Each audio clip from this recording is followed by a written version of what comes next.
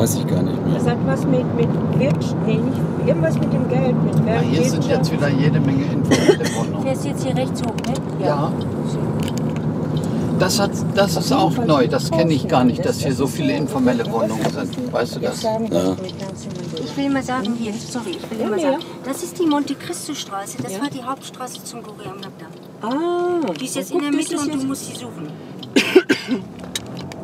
Ja, ja, das war damals hier ein Eine Farm, Farmstraße, Farm. eine, eine, eine, eine Sandstraße. Siehst du, hier ist Das ist ein informeller Markt. Fahr mal langsamer, Sweetie. Manchmal. Sweetie? Manchmal musst du einfach wissen, dass das eine Touristenattraktion hier ist. Ja, das ist so Katastrophentourismus. Ne? Darüber muss man sich im Klaren sein. Ne? Man Ja. ergötzt sich an der Not der anderen. Oder an dem Elend der anderen. Das ist nicht schön, ne?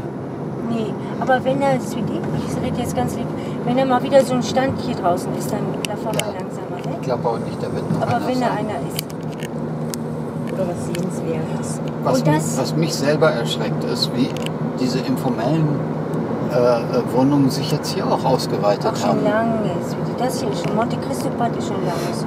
Und das sieht dir aber schon so ein bisschen durchorganisiert aus, ne? Ja, das So ist mit schon Stromleitungen und so weiter. Ja. Und um das ähm,